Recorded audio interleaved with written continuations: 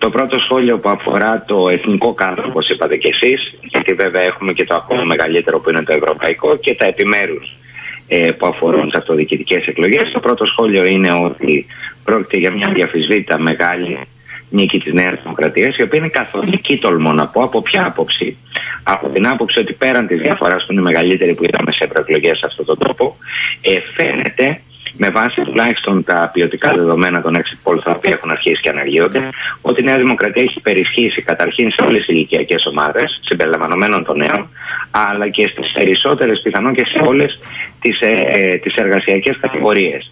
Παράλληλα, ο χάρτης σε επίπεδο εκλογικών περιφερειών ε, είναι αυταπόδεικτο. Ε, στη συντηρητική πλειοψηφία των ε, εκλογικών περιφερειών η Νέα Δημοκρατία έχει κερδίσει εκλογές. Συνεπώς, όλα αυτά δημιουργούν αυτό που θα λέγαμε προποθέσει μιας καθολικής νίκης. Αυτό είναι το πρώτο σχόλιο. Αντιστοίχως, η ήττα για το ΣΥΡΙΖΑ είναι βαριά. Ε, θέλω να επισημάνω, αν μου επιτρέπετε, ότι κάνοντας ένα μικρό μεθοδολογικό άλμα, ε, ότι αν συγκρίνουμε με τις πιο πρόσφατες, ε, την τελευταία δηλαδή αναμέτρηση σε εθνικό επίπεδο, όχι στις ευρωεκλογές, μπορούμε να το κάνουμε βέβαια και με τις ευρωεκλογές, απλά κάνω το μεθοδολογικό άλμα από την άποψη ότι οι ευρωεκλογές είχαν χαρακτήρα ιονή εθνικής αναμέτρησης, θα δούμε ότι ο ΣΥΡΙΖΑ έχει απολέσει περίπου 30% της, εκλο... της εκλογικής επιρροής, ενώ η, Δημοκρατία έχει... η Νέα Δημοκρατία έχει αυξήσει την εκλογική της επιρροή λίγο περισσότερο από 17%. Μάλιστα. Ε, Παρ' όλα αυτά κύριε Παπαδάκη θέλω να σας ρωτήσω αν θεωρείτε ότι επειδή μπαίνουμε πια σε εθνικές εκλογές ε, είναι κάτι εντελώς διαφορετικό στους όρους διεξαγωγής ανεξαρτήτως από τη δυναμική που φαίνεται ότι έχει πια το πρώτο κόμμα. Αυτή είναι η πιο γνήσια ε, πλέον μέτρηση, η κάλπη δηλαδή, η Νέα Είναι κάτι διαφορετικό εθνικές εκλογές; Πολύ ενδιαφέρουσα και εξίσου σύνθετη η ερώτησή σας, κύριε Σακίνη. Θα επιχειρήσω να την απαντήσω. Ε, Προφανώς κάθε εκλογική αναμέτρηση είναι διαφορετική. Για να βγάλουμε κάποια συμπεράσματα, δεν αποτολμώ να χρησιμοποιήσω τον όρο προβλέψεις. Ε, γνωριζόμαστε καλά, ξέρετε ότι ως ε, ερευνητής, γιατί αυτή είναι η βασική μου ιδιότητα, ε, έχω επιφύλαξη στι ε, απόλυτε βεβαιότητε. Ε, ε, κοιτάξτε να δείτε. Η πρώτο ζήτημα το είχα, είχα την ευκαιρία να το κουβεντιάσω μαζί σας και στην, ε, ε, και, και στην τρίωρη, στο τρίωρο πάνελ ε, στο Κρήτη TV τη βραδιά της αναμέτρησης για τις ευρωεκλογές και η Ρίσα Μπαρόδο, δώστε μου 30 δευτερόλεπτα να συγχαρώ και εσά προσωπικά και το Credit TV και τους συνεργάτες σας και το Δημοσιογραφικό και Τεχνικό Επιτελείο, γιατί νομίζω ότι αυτό είδα και με τα μάτια μου. Ε, ο χαρακτηρισμός περιφερειακό μέσω ενημέρωσης αδικεί. Το Credit TV δεν έχει να ζηλέψει σε τίποτα από τα λεγόμενα μεγάλα αθηναϊκά μέσα ενημέρωσης. Κλείνω την παρένθεση. Πάμε στην ουσία. Η εγκύτητα του στον εκλογικό κύκλο. Η εγκύτητα στον εκλογικό κύκλο πάντα πρέπει να μας απασχολεί. Και εδώ τι έχουμε. Έτσι κι αλλιώς οι ευρωεκλογές είχαν μεγάλο βαθμό απόστασης, στη μεγαλύτερη που είδαμε ποτέ από προηγούμενη εθνική αναμέτρηση σε επίπεδο εθνικών εκλογών και μεγάλη εγκύτητα στην συνταγματική προθεσμία. Τώρα όμως έχουμε τις πρώτε εκλογές. Ε, η εγκύτητα είναι μικρή. Θα μου πείτε ένας μήνας που είναι περίπου, δεν είναι πυκνός πολιτικός χρόνος. Φυσικά και είναι πυκνός πολιτικός χρόνος. Και γι' αυτό είπα ότι δύσκολα πάω σε, πάω σε απόλυτες βεβαιότητες. Αν θέλετε όμως τη γνώμη μου, δεδομένων όλων όσων είπα στην αρχή και τα χαρακτηριστικά, τα πολιτικά χαρακτηριστικά της νίκης της Νέας Δημοκρατίας, βάζοντας και ποιοτικά χαρακτηριστικά μέσα, ε, είναι πολύ δύσκολο να ανατραπεί. Τι είναι, είναι δύσκολο να ανατραπεί, να ανατραπεί σε ό,τι αφορά την πρωτιά. Έκανε μια ενδιαφέρουσα ανάλυση ο Γιάννης Ομαυρή ε, που, εξη, που εξηγούσε ότι στις προηγούμενες παρόμοιες αναμετρήσεις και δι' αυτές του 9 και του 14 είχαμε μια τάση στην ουσία αύξησης της διαφοράς. Δεν σημαίνει ότι είναι αυτονόητο ότι θα συμβεί και τώρα.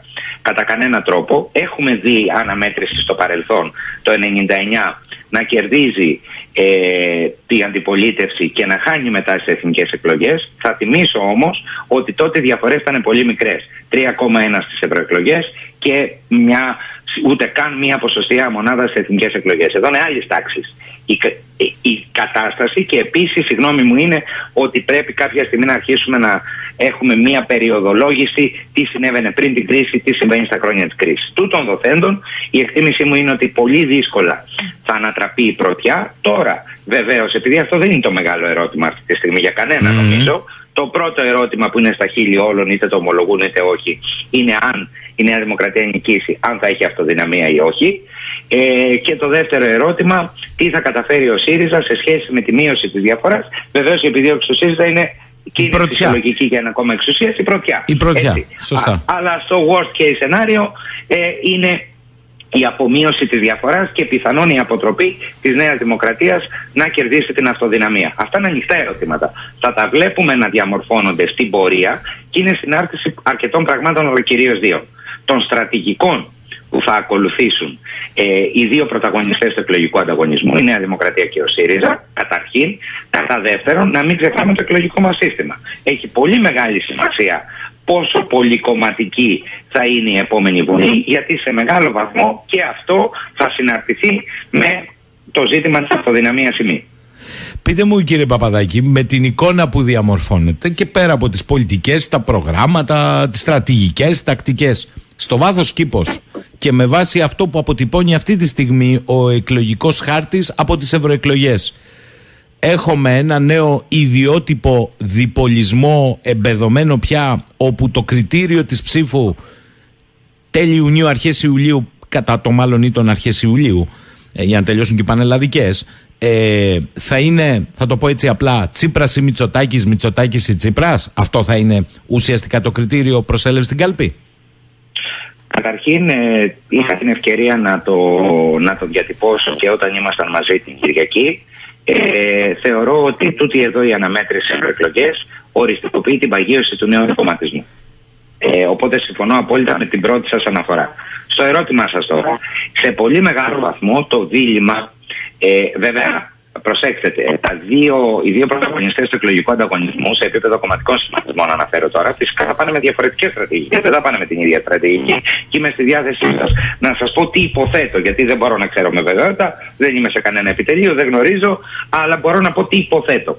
Ε, σε κάθε όμω περίπτωση, το τελικό δίλημα, ναι, θα προσωποποιηθεί. Αλλά δεν θα προσωποποιηθεί μόνο. Η υπόθεση μου είναι ότι σε ό,τι αφορά τη Νέα Δημοκρατία, αυτό που θα επιχειρήσει να κάνει είναι να δείξει ότι έχει μια ολοκληρωμένη, αξιόπιστη και εφαρμόσιμη πρόταση διακυβέρνησης. Γιατί θα το κάνει αυτό, για να διεκδικήσει την πλέον καθαρή δυνατή αυτοδυναμία ώστε να μπορέσει να κυβερνήσει. Για να πείσει ότι δώστε με αυτοδυναμία για να κυβερνήσω, σημαίνει ότι πρέπει να πείσει πέραν της δυσαρέσκειας για το ΣΥΡΙΖΑ ότι έχεις ένα πρόγραμμα που θα κάνει τι. Πάνω και πέρα απ' όλα θα βελτιώσει την καθημερινότητα των Ελλήνων. Ε, αν παρατηρήσατε και είμαι σίγουρος ότι παρατηρήσατε πολύ προσεκτικά το πρώτο μήνυμα του Προέδρου της Νέας Δημοκρατίας ε, το βράδυ των ευρωεκλογών ε, ήταν σαφές δίνοντας ένα στίγμα της στρατηγικής. Ε, από εκεί και πέρα ο ΣΥΡΙΖΑ υποθέτω ότι θα επιχειρήσει να στραφεί στη λεγόμενη αριστερογενή ψήφο, η οποία κινήθηκε προς μικρότερους σχηματισμούς και θα εξηγήσω γιατί λέω μικρότερους, ε, να πείσει ψηφοφόρους που πιθανόν να πήχαν, γιατί είχε πολύ χαμηλή συσπήρωση έτσι κι αλλιώς, να δείξει ότι αναδεικνύεται τόσο κυρίαρχος πολιτικός πόλος κεντροαριστεράς, άρα να πιέσει ακόμα περισσότερο το κοινάλ και να προβάλλει ε, το το κίνδυνο κατά το ΣΥΡΙΖΑ να επιστρέψει η Νέα Δημοκρατία. Άρα περίπου αυτές αναμένω να είναι οι στρατηγικές. Ε, και οι δύο στρατηγικές απολύγουν βέβαια σε πίεση προς τα λεγόμενα μικρότερα κόμματα. Γιατί αναφέρθηκα στο ΣΥΡΙΖΑ ως ενδεχόμενο μεγαλύτερης πίεσης σε αυτούς που πήγαν σε μικρότερους σχηματισμούς, γιατί είναι πολύ δύσκολο ψηφοφόροι οι οποίοι μετακινήθηκαν απευθείας και δεν είναι λίγοι από ό,τι φαίνεται από το ΣΥΡΙΖΑ στη Νέα Δημοκρατία μέσα σε ένα μήνα να επιστρέψουν στο ΣΥΡΙΖΑ. Για τους υπόλοιπους όμως, νομίζω ένα μέρος της στρατηγικής τους ΣΥΡΙΖΑ, όπως θα εκδιπλωθεί, θα στοχεύει σε αυτούς. Άρα, τούτων δοθέντων, πρακτικά θα έχουμε να κάνουμε με διλήμματα του τύπου τι είδους πρόγραμμα διακυβέρνησης, ποια είναι η επόμενη μέρα. Θα έχουμε και προτάσεις, υποψιάζομαι, και κυρίως από τη Νέα Δημοκρατία, που ξαναλέω, αναμένω να εκδιπλώσει το πρόγραμμα διακυβέρνησής της, αυτές που αγγλιστεί αποτελούνται lower hanging fruits, δηλαδή προτάσεις πιο εύληπτες, πιο υλοποιήσιμες, πιο μετρήσιμες, πιο εφαρμόσιμες. Δεν αποκλείω να κάνει το ίδιο και ο ΣΥΡΙΖΑ. Ε, οπότε θα έχουμε ένα κεντρικό δίλημα σε επίπεδο προσώπων, όπως σωστά είπατε. Θα έχουμε όμως και ένα κεντρικό δίλημα σε επίπεδο προγραμμάτων διακυβέρνησης της χώρας, όπως αυτά αποτυπώνονται και αφορούν την καθημερινότητα. Μην ξεχνάμε, κύριε Σαχίνη, ότι ειδικά στα χρόνια της κρίσης που έχουν αναδιαμορφωθεί οι παράμετροι διαμόρφωση της εκλογικής συμπεριφοράς και το γνωρίζουν αυτό και τα κομματικά επιτελεία και όλοι ε, επικυριαρχεί ακόμα περισσότερο υποκειμενική προσοχή του πραγματικού. Δηλαδή, τι σημαίνουν όλα αυτά για, που λένε τα κόμματα για μένα ως πολίτη. Και αποδυναμώνεται η ισχύ της κομματικής ταύτισης. Λοιπόν, θέλω να κλείσουμε. Έχω ένα ενδιαφέρον εδώ μήνυμα που μου έχει έρθει. Ε, η Ελλάδα λέει μοιάζει σαν σε λαβύρινθο με δύο μηνόταυρους χωρίς θυσέα. Ε, Κοινώς δεν υπάρχουν εναλλακτικές. Αλλά λίγος πολύ και πάω στο μεγάλο κάδρο με αυτό θέλω να κλείσουμε κύριε Παπαδάκη. Ε, δεν φαίνεται να υπάρχουν εναλλακτικές σε όλη την Ευρώπη πια. Ε; Ε, πρώτα απ' όλα, αν με επιτρέπετε ένα σχόλιο στο μήνυμα. Πολύ κατανοητό, δεν σπέβδω να συμφωνήσω από ποια άποψη. Από την άποψη ότι, να μην ξεχνάμε ότι η παγίωση του νέου δικοματισμού είναι επιλογή του εκλογικού σώματος. Ε, αυτή τη στιγμή ε, σεβόμαστε τις επιλογές του εκλογικού σώματος, αυτή την επιλογή κάνει. Nice. Ε, προ, Προφανώς ο καθένας με τις προτιμήσει του. Αυτό δεν θέλω κατά κανένα τρόπο να παρερμηνευτεί ως προς τους μικρότερους κομματικούς σχηματισμούς, κάποιοι εκ των οποίων πήγαν και πολύ καλά σε αυτές τις ευρωεκλογές. Ε, είχαμε την ευκαιρία να τα αναλύσουμε πολλή ώρα, οπότε δεν θα δεσμεύσω τώρα το χρόνο σας. Ε, για, να, για να πάω κατευθείαν στην απάντηση σε, σε ό,τι αφορά το ευρωπαϊκό τοπίο. Ήταν πάρα πολύ ενδιαφέρουσες ευρωεκλογές, κύριε Σακίνη, σε επίπεδο Ευρώπης. Πρώτα απ' όλα, πολύ μεγάλη συμμετοχή, μεγαλύτερη της 20 ετία. Δεύτερον, τα δύο, οι δύο μεγάλες παραδοσιακές πολιτικές οικογένειες έχασαν δυνάμεις, δεν ιτήθηκαν καθολικά. Δηλαδή το Ευρωπαϊκό Λαϊκό Κόμμα υποχώρησε σε 180 έχει χάσει περίπου 5%, άλλο τόσο περίπου έχει χάσει και ε, το Σοσιαλιστικό Κόμμα οι Σοσιαλδημοκράτες. Ε, παραμένουν, έχουμε νίκη των φιλοευρωπαϊκών δυνάμεων στο Ευρωπαϊκό Κοινοβούλιο. Πολύ κερδισμένοι είναι οι φιλελεύθεροι, το ΑΝΤΕ, οι οποίοι σημείωσαν μια πολύ μεγάλη αύξηση λόγω και της ενσωμάτωσης αυτούς των εδρών του, του Μακρόν αναμένεται να είναι σε 109 έδρες, δηλαδή 14,5%. Μεγάλο ποσοστό ε, και το κάνει τρίτη δύναμη. Εντυπωσιακή αύξηση των, ε, της εκλογικής επιρροής των Πρασίνων σε πολύ διαφορετικές χώρες. Δεύτερη στη Γερμανία, τρίτη στη Γαλλία, πολύ καλές επιδόσεις στην ε, Βρετανία, στην Ισπανία, στο Λουξεμβούργο, στο Βέλγιο. Ίσως ήταν και η έκπληξη των, των ευρωεκλογών. Τέταρτος σχηματισμός άνοδο των ακροδεξιών κομμάτων, όχι στην έκταση που αναμενόταν, αλλά εδώ θέλω να κάνω σχόλιο, κύριε Σαχίνη. Το ότι δεν ήταν στην έκταση που αναμενόταν η άνοδος των ευρωσκεπτικιστικών και κυρίως των ακροδεξιών κομμάτων δεν επιτρέπει κατά κανένα τρόπο να συνεχίσουμε στην Ευρώπη να αντιμετωπίζουμε το πρόβλημα με όρους ανακούφισης. Α, μπορεί να ήταν και χειρότερα, άρα που δεν είναι χειρότερα, δεν πειράζει. Δεν είναι καθόλου έτσι. Έχουμε δύο πολιτικές οικογένειες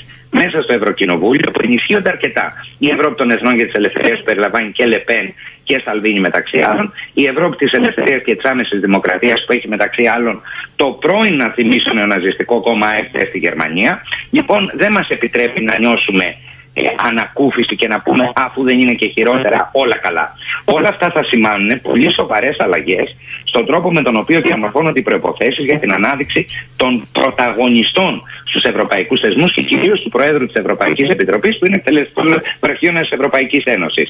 Δεν μπορούν τα δύο κόμματα για πρώτη φορά στην ιστορία τους, τα δύο μεγάλα, οι δύο μεγάλες πολιτικές οικογένειες, από μόνες τους να κάνουν επιλογές. Συνεπώς θα πρέπει να συνεργαστούν πιθανόν με τους φιλελεύθερους, ίσως και με τους πράσινους. Άρα έχουμε μια πολύ ενδιαφέρουσα νέα περίοδο στον ευρωπαϊκό πολιτικό χάρτη που μόλις έχει ξεκινήσει, κύριε Σαχή.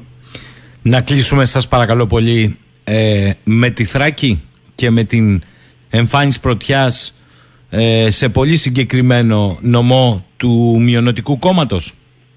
και το λέω αυτό κύριε Παπαδάκη γιατί η χώρα μπαίνει σε ένα πολιτικό ψυγείο ε, ελαίο προεκλογικής περίοδου σε μια όμως εποχή που η Τουρκία ξεδιπλώνει πλήρως γεωπολιτικές της προκλήσεις ε, και παρουσίες στην Ανατολική Μεσόγειο και έρχεται και αυτό το αποτέλεσμα. Κύριε Σαχίνη, παρόλο που οφείλω και, και σας γνωρίζω πολύ καλά, το ξέρω το κάνετε κι εσείς, σεβόμαστε κάθε εκλογικό αποτέλεσμα και κάθε επιλογή των πολιτών.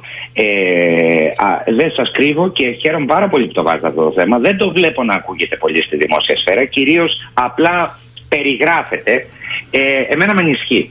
Σαφώς οι Έλληνες πολίτες έχουμε θρησκευτική μονομειονότητα στην Ελλάδα, μην το ξεχνάμε, αλλά δεν μπορεί κανείς να αποσυναρτήσει τέτοιες εξελίξεις από την κλιμακούμενη τουρκική επιθετικότητα. Προσωπικά δεν συμφωνώ με τον όρο προκλητικότητα. Αυτό που βλέπουμε από δεν τον είπατε εσείς, τον λένε πολλοί άλλοι.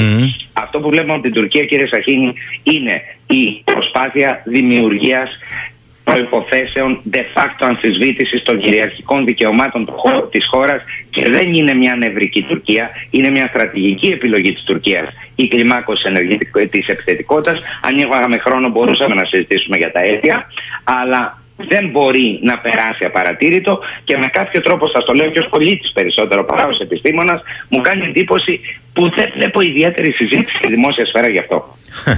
το κρατώ αυτό που είπατε και είναι πολύ σημαντικό. βέβαια που το τονίσατε εσείς. Για να δούμε. Ε, Α ελπίσω τουλάχιστον τα κόμματα να έχουν υπογείως, δεν είναι ανάγκη να γίνονται όλα δημόσια, ένα κώδικα ε, συνεννόησης. Γιατί, επαναλαμβάνω, πολιτικά είναι μια νεκρά περίοδος για την Ελλάδα με την έννοια των προεκλογικών εξελίξεων. Η Τουρκία ξεδιπλώνει όλη τη στρατηγική αυτή τη στιγμή. Βεβαίως. Το timing δηλαδή πάλι είναι περίεργο, έτσι. Έχει και πολλούς, έχει πολλούς λόγους η Τουρκία να το κάνει. Ε, πρώτα απ' όλα το γεγονός ότι αισθάνεται απομονωμένη στο ενεργειακό παιχνίδι. Ε, το, το μόνιμο εγχείρημά τη για προβολής ισχύως αλλά εδώ πλέον δεν είναι απλά ένα εγχείρημα προβολής ισχύως. Εδώ έχει να κάνει με τα κρίσιμα ενεργειακά ζητήματα, έχει να κάνει με τον τρόπο με τον οποίο αντιλαμβάνεται τον εαυτό της η Τουρκία ως περιφερειακή υπερδύναμη, που δεν πρέπει να είναι απομονωμένη και αισθάνεται ότι διαμορφώνεται ένα εχθρικό για αυτήν μέτωπο ε, και, και λόγω της τετραμερού, Ρους, Ελλάδας, Κύπρου, Αιγύπτου, Ισραήλ. Ε, έχουμε πολλές αλλαγές που έχουν επισυμβεί. Αισθάνεται η Τουρκία ότι αυτό το μέτωπο έχει με κάποιο τρόπο την ομπρέλα των Ηνωμένων Πολιτειών. Αυτό είναι τι αισθάνεται η Τουρκία. Δεν σημαίνει τι ισχύει στην πραγματικότητα. Άρα έχουμε πολλούς λόγους και αν με επιτρέπετε, κρατήστε αυτό που είπα προηγουμένως. Επουδενή δεν συμφωνώ με τις αναλύσεις ότι είναι μια νευρική στάση της Τουρκίας. Είναι μια στρατηγική επιλογή της Τουρκίας, κύριε Σαχίνη. Αυτό έχουμε απέναντί μας. Επιθετικότητα έχουμε, δεν έχουμε προκλητικότητα και καλά θα κάνουν κάποια στιγμή, όπως το είπατε. Δεν είναι απαραίτητο να γίνει δημοσίως. Καλά θα κάνουν όμως όλοι οι κομματικοί σχηματισμοί, πέραν από τις δημόσιες δηλώσεις τους, να δείξουν πραγματικό ενδιαφέρον και να δημιουργήσουν προποθέσει συνένεσης τουλάχιστον στη στρατηγική μας απέναντι στην Τουρκία. Δεν μου λέτε, κύριε Παπαδάκη, ε, πριν σας αποχαιρετήσω, το Ηράκλειο είναι η τέταρτη μεγαλύτερη πόλη στη χώρα. Δεν είναι μια τυχαία πόλη. Ναι. Έχουμε δεύτερη Κυριακή. Με ένα χαρακτηριστικό ότι στην πρώτη Κυριακή έχουμε μεγάλο νικητή τον κύριο Κουράκη, δεύτερο τον Ινδήμαρχο τον κύριο Λαμπρινό. Το 14 ο κύριος Κουράκης ως δήμαρχος την πρώτη Κυριακή ήταν πρώτος, στη δεύτερη τήθηκε. Αλλά ήταν πρώτος την πρώτη Κυριακή. Λέει κάτι, δεν θέλω να μπείτε εσείς στο Κουράκης Λαμπρινός ή Λαμπρινός Κουράκης, λέει κάτι ως αποτύπωμα ότι ο ενεργεία δήμαρχος αυτή τη φορά είναι δεύτερος. Κοιτάξτε να δείτε, κύριε Σαχίνη, δεδομένα περιγράφεται. Γιατί να μην πω κάτι. Δεν έχω δεδομένα για να κάνω κάποια πρόβλεψη. Αυτό δεν θα το επιχειρούσα. Αν έχω δεδομένα, το επιχειρώ. Αλλά αυτό που λέτε αποτυπώνει ακριβώς το τι συνέβη. Ε, πάμε σε ένα δεύτερο γύρο, όπου με σημαντική διαφορά είναι πρώτος ο κύριος Κουράκης, ο πρώην Δήμαρχος, και δεύτερος ο Δήμαρχος. Ε, το αποτέλεσμα του πρώτου γύρου δεν είναι αυτό που κρίνει βέβαια το ποιος θα καταλάβει το θόκο, αλλά δείχνει σαφώς μία στάση του εκλογικού σώματος απέναντι στους δύο κύριους πρωταγωνιστές σε αυτοδιοικητικό επίπεδο του εκλογικού ανταγωνισμού. Ε, από εκεί και πέρα, βέβαια, θέλω να υπενθυμίσω και να επισημάνω, για να είμαι μεθοδολογικά συνεπής και πάντα το επιχειρώ, ή δεν ξέρω να το καταφέρνω, ότι Άλλες ήταν αυτό σε σχέση με το δεύτερο γύρο. Άλλες ήταν οι εκλογές του 2014, σε άλλες συνθήκες ήταν οι εκλογές του 2014. Καλά κάνατε και θυμήσατε ποιος ήταν τότε δήμαρχος, ποιος είναι τώρα. Άλλες είναι οι συνθήκες στις εκλογές τις αυτοδιοικητικές για τη Δημοτική Αρχή του 19. Βλέπω ή παρατηρώ κάποιες γρήγορες συγκρίσεις και αναγωγισμούς. Είδα στη δικιά σας ανάλυση ότι εσείς δεν το κάνατε. Είναι σημαντικό να έχουμε στο νου μας ότι δεν συγκρίνουμε με αυτοματισμούς διαφορετικά πράγματα. Δεν θέλω να κουράσω με μεθοδολογικές λεπτομέρειες στου ακροατές σας, αλλά νομίζω να σας